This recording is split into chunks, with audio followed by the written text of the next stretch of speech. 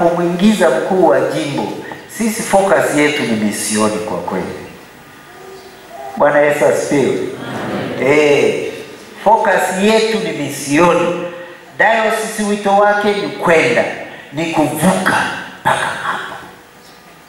Wapo wengine huko, watu wanaangamia kwa kukosa maarifa, watu wanaangamia hata kwa imani ya ushirikina, watu wanauawa kwa kutazama tu. Sisi kwetu alikuwepo jirani mmoja tangu utoto, macho yake ni mekundu tangu utoto yuko hivyo, ameumbwa hivi. Sasa wakija watu wengine wanasema.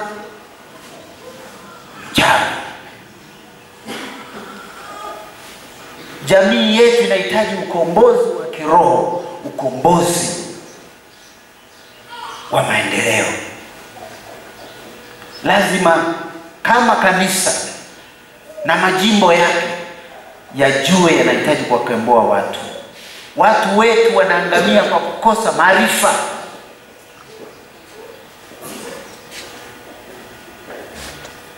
Wanaweza kusingizia watu kwa magonjwa yanayotibika.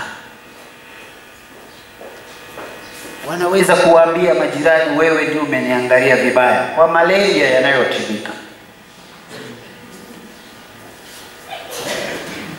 Kanisa lipeleke nuru ya Injili, watu wapokee Kristo, wakombolewe mwili na roho. Watu wanateswa na umaskini. Kanisa lipeleke habari njema za Yesu, lipeleke theologia sahihi ya kupata utajiri, ya kupata mafanikio, lipeleke theologia sahihi, sio zile za kuambia Wakristo mje na funguo kila mmoja kesho, funguo yoyote, halafu unawafanya watu kama vichaa. Haya, simameni, washa, endesha Naambia endesha, endesha, endesha.